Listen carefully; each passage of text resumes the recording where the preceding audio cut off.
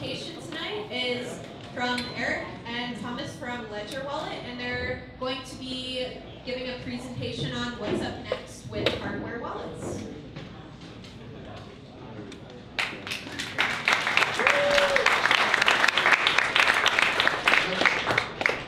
So yeah, I'm, I'm Thomas uh, France, so I'm a co-founder of Ledger, and this is uh, Eric, my co-founder and CEO. Um, so yeah, we're going to talk about uh, a little bit uh, hardware wallets, uh, a few examples about what we've been doing, and uh, what we're up to uh, with Ledger Wallets. So, a few words about us. So we're a team of uh, 17 uh, based in Paris and San Francisco. So we're mostly French from this uh, cybersecurity space. Uh, we raised a bit of money in, uh, in France, so $3 million. And what we want to do is to provide some simple, safe, and affordable uh, solution for Bitcoin security. So, you all know that there's a big problem for Bitcoin. You know about that. Uh, when you own Bitcoin, what you actually own are private keys. And because of the decentralized nature of Bitcoin, fact that transactions are reversible, there's a full responsibility that lies on the user. And you cannot manage these uh, data on regular computers uh, or smartphones that are not designed for that. So there's some different ways to handle these, uh, these private keys in your Bitcoin. There's this approach uh, to delegate the security to a third party. So you just go to a kind of Bitcoin bank that uh, manages the Bitcoin, the private keys for you. So Coinbase, Xapo, Circle, these are kind of Bitcoin banks that have uh, been gaining quite a lot of traction. And you don't have to bother about security in this approach. Not everybody wants to do that.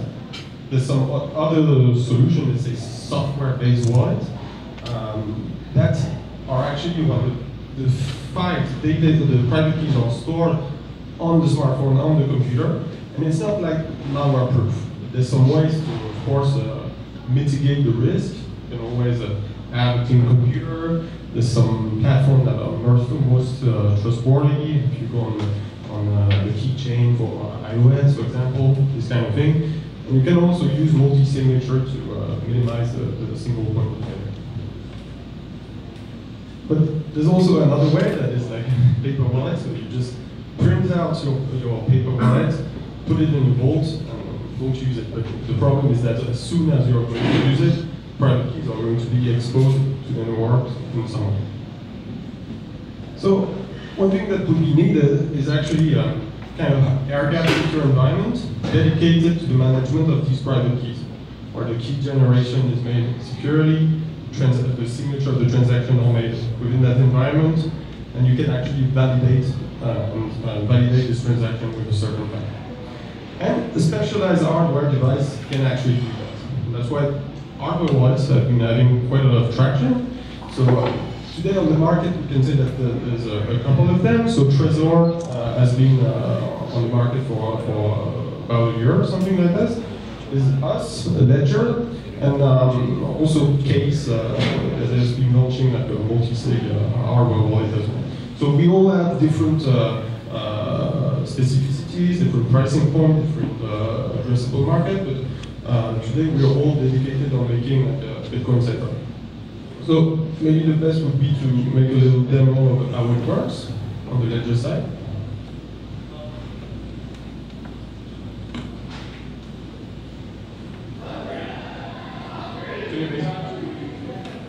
Okay, so it's a little small, but you will be able to see. So what I have done is I have connected uh, the Ledger wallet, which is uh, a smart card on a USB form factor to the computer, to the USB port. And it works with uh, any kind of computer running Chrome or Chromium, so PC, Mac, Linux. And uh, so, as you can see here, this is uh, this is a, a wallet, and it's uh, it's a, an HD wallet. So you can actually have uh, a few uh, a few different wallets with a large number of addresses. Um, so basically, what you have here is like a normal wallet, an interface where you can send, you can receive, you can see your transaction history, and what you are, what is where the big difference is compared to other software-based wallets is when you are going to send. So I'm going to show you how it works. So first, I will just take an address from my wallet, and then I'm going to send, for instance, one Bitcoin. And this is a real critical operation. When you are going to sign a transaction, it means that you need a private key, you need to have it not encrypted, and in traditional software-based wallet, it will be in the memory of the computer. And this is where you are at risk. Here, all the signature is done inside the hardware wallet.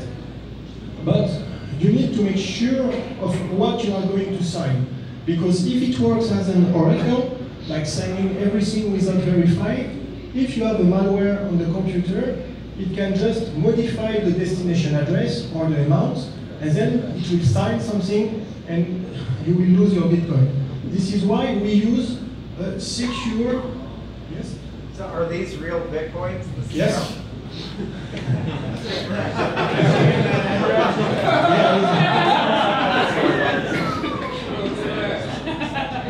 this is not testnet, it's a livenet. Uh, and you, you need to make sure of uh, the transaction of the destination address. And in this particular uh, example, I have paired my um, uh, smartphone to uh, the hardware wallet and I just have been pushed. So on, on the push that I receive, I can see exactly what is the transaction that I have done and, I, and it asks me to confirm that I really want to send one Bitcoin to this address. And this is a, a secure pairing between the hardware wallet and this phone. It means that you need to have the phone to make uh, the payments. That means that even if you take uh, my hardware wallet and you take my bill, if you do not have the phone or a physical security card, in case I, I don't have the phone with me, then you cannot make any transaction. And it is connected using uh, WebSockets uh, securely. And now if I'm going to confirm the transaction, it will go through, it will sign the transaction again inside the secure element, which means the private keys will never be revealed to the host. And so even if this computer is uh, with keyloggers, with uh, all the malwares that you can think of, there is no way that they will be able to steal the private keys or take the bitcoins. So this is uh, an example of how we can use a hardware wallet. And once it's signed, it will give back to the computer the signed transaction, which is not critical information, and it will just uh, send it to the Bitcoin network.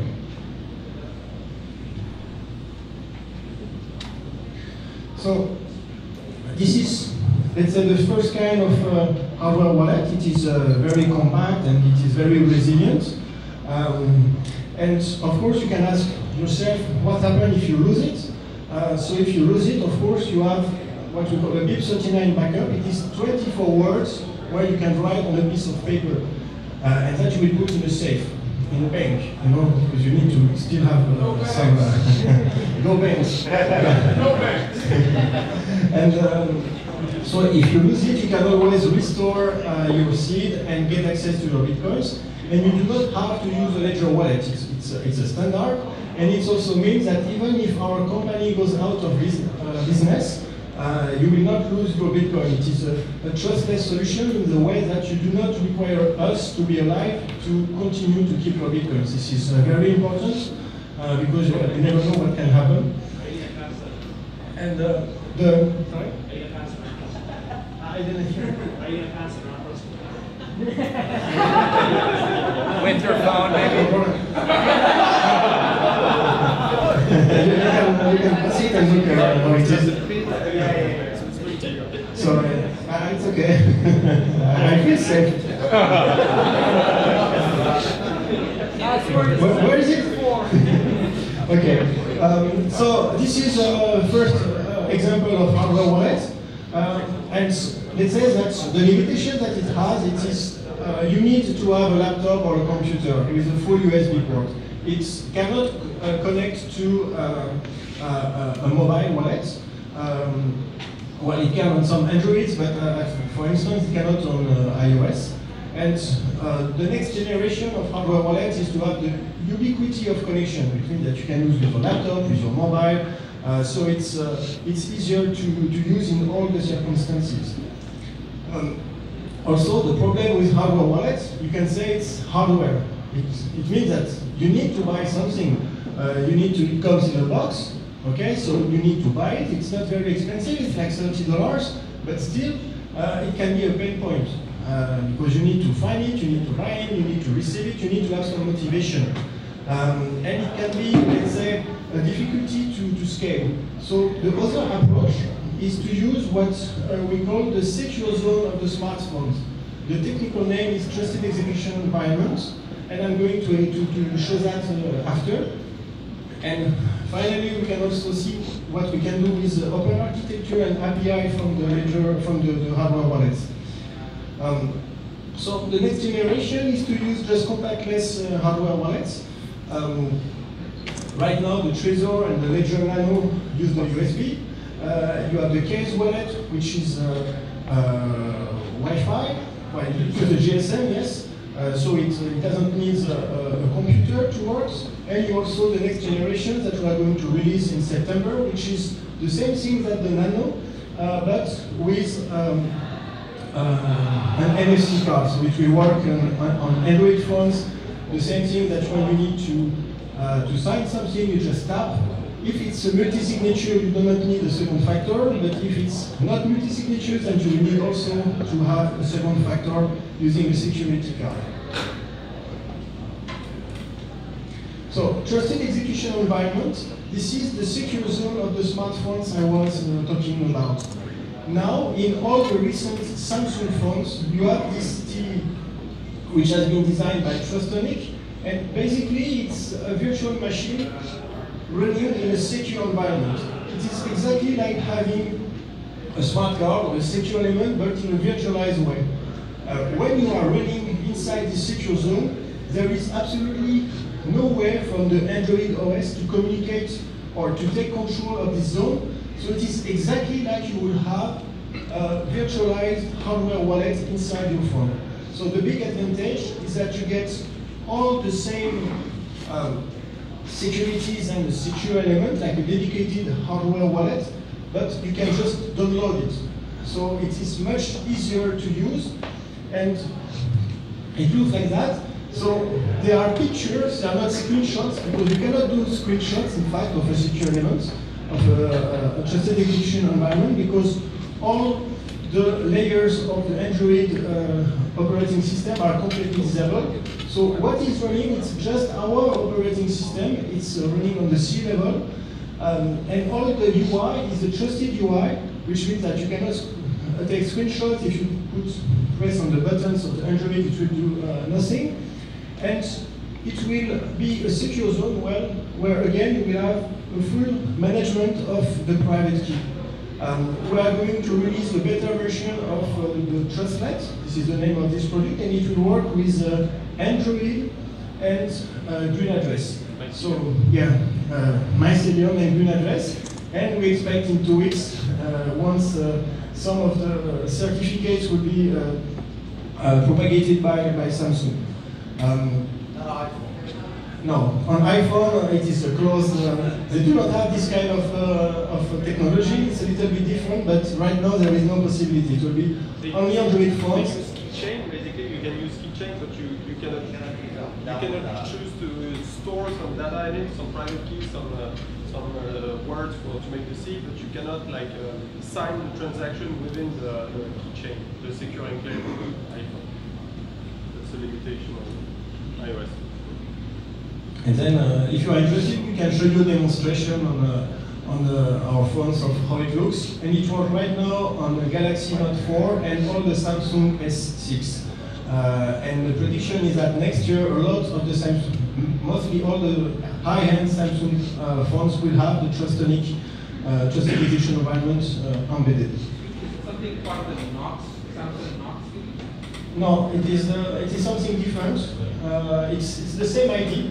Uh, but it is not the same. It's not exactly the same. Uh, uh, the same system. Also, with all these hardware wallets, usually you have like API. you can do a lot of things, and you can do third-party integrations. for instance, with the, the Ledger Nano, you can also use the key uh, the, the, hardware wallet to host a key from a multi-signature um, wallet with uh, um, uh, with CoinKite and soon with uh, Copay. Uh, right now, if you want to do multi-signature, like for instance you are an enterprise and you want to do a 5 of 10 to make your payments, uh, the, the, the, pain point is the management of the keys because it's five, you need to them on your computers, and if you use the key, in fact, you can uh, very easily uh, distribute them, and you just need to connect and sign. Uh, and we have we have uh, launched um, enterprise solutions where you can just buy pack of 10 hardware wallets. Uh, so it's easy for enterprises to uh, to do multi-signature. Also, you can do uh, identity, uh, you can do login, third-party login, two-factor authentication just using this hardware wallets. So there is a lot of things that you can develop in the future. And of course, all compatibility with uh, crypto assets because this is uh, something which will be uh, quite used in the future. So if you have any questions, we'll be happy to, to answer them. Thank you.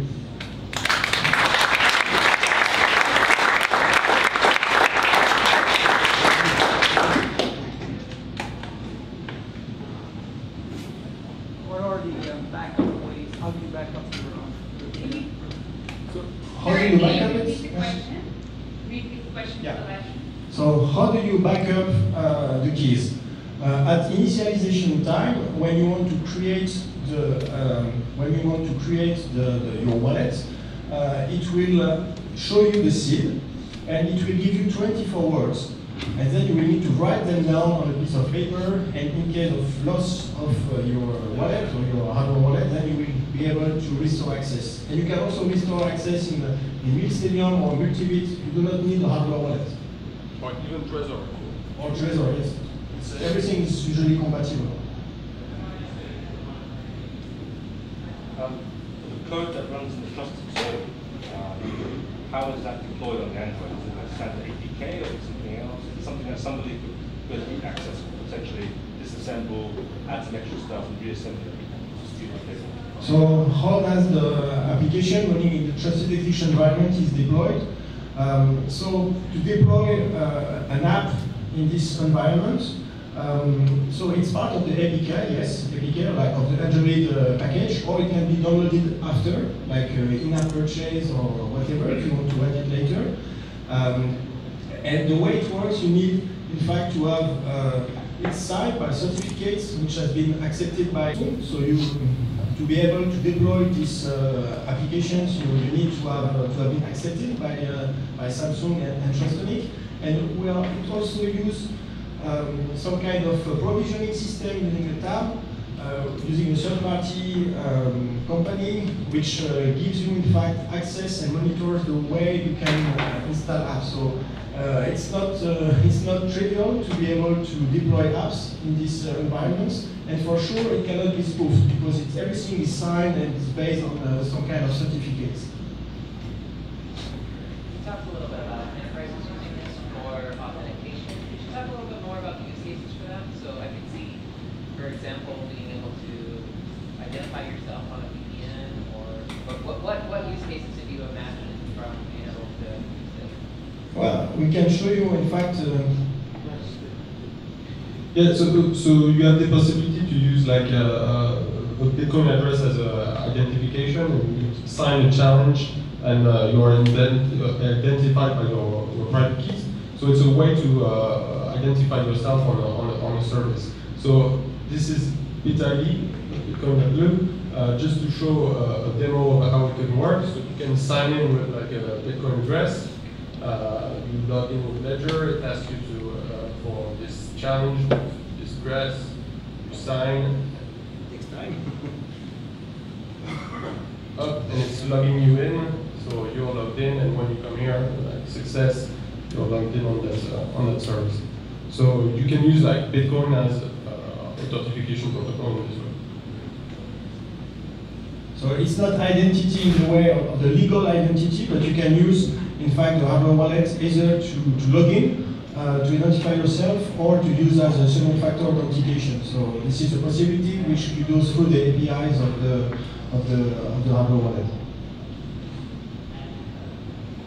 Also, any options for altcoins? Altcoins? Yeah. Yeah, uh, we have uh, Testcoin, uh, uh, Testcoin, Testnet, Uh, and also it will work with uh, Litecoin, Dogecoin, or there is, uh, as long as we have uh, blockchain APIs to uh, be able to uh, get blockchain information, then we can, uh, it's possible to compile the app to, uh, to work with Litecoin, Dogecoin, so it, it will be supported uh, in September, I think. I, but I have to contact you guys. Obviously, I have to contact you guys, not the work and all. Yeah, if you want to, to add support of any altcoin, you just need to contact us. Uh, there is some requirements, it needs to be uh, aged, like to be BIP32, BIP44, uh, BIP39. So uh, there are some requirements, but uh, and a blockchain explorer. I would say that you have to, for example, to get your credit card into that piece at the wallet, the bank, or how that works, how does, how the page goes out. Um, it's only, it works only on the Bitcoin network. It means that you cannot really connect your credit card to uh, this kind of hardware wallet. But with uh, the NFC version of the hardware wallet, it is possible, in fact, to pay uh, on checkout on uh, payment terminal using exactly the same tokenization system that Apple Pay. The only limitation is that you need to find a partnership with a card uh, issuer which will give you, in fact, the connection to the banking world. So technically it's possible, but it is quite complex to obtain such partnership with banks or uh, whatever, uh, because I'm not so much uh, ready or wanting to, to, uh, to explore this kind of uh, integration.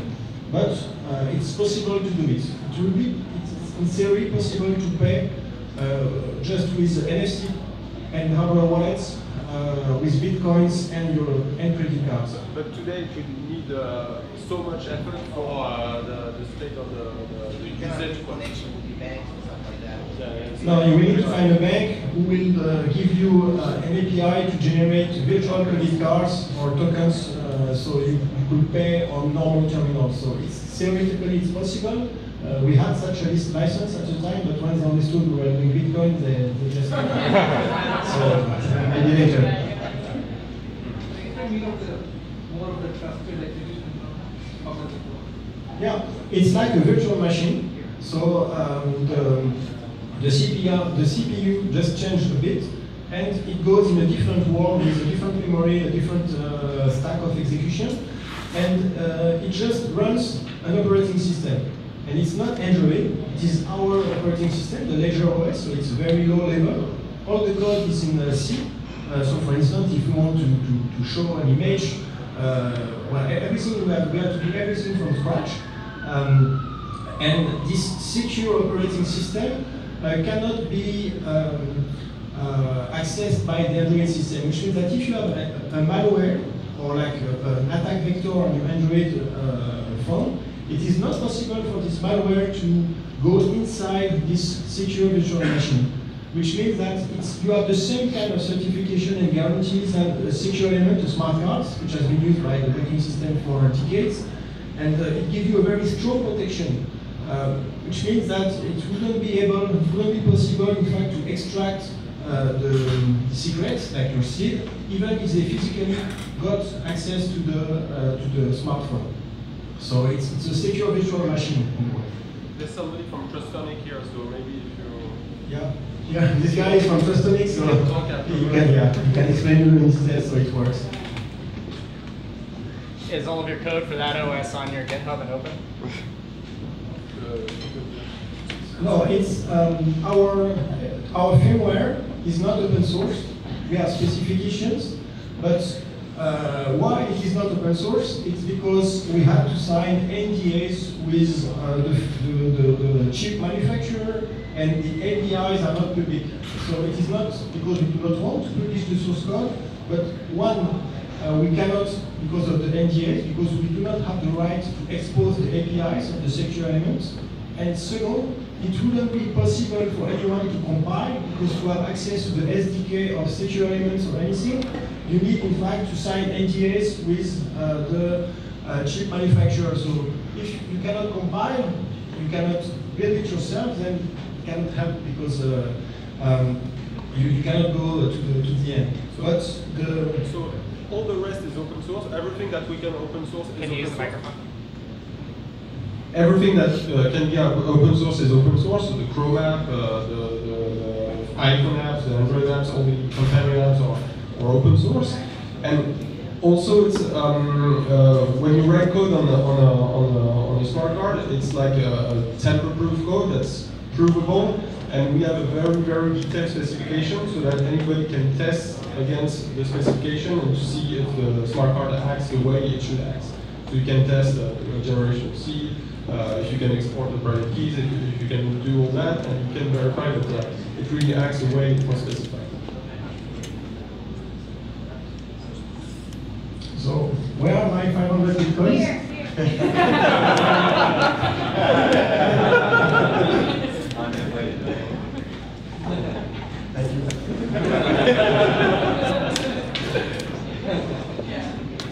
so, any more questions? Last question?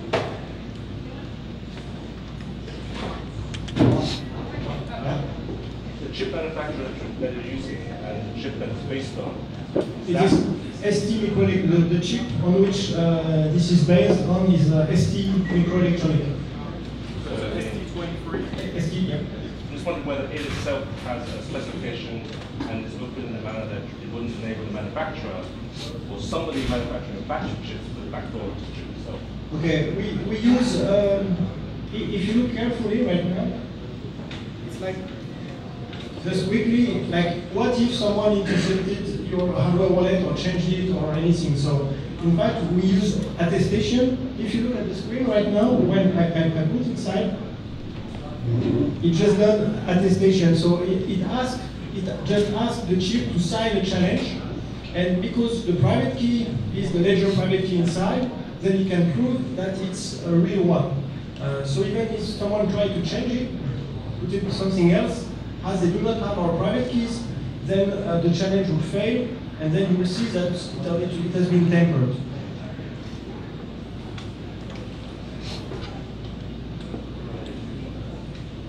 Okay, well, thank you.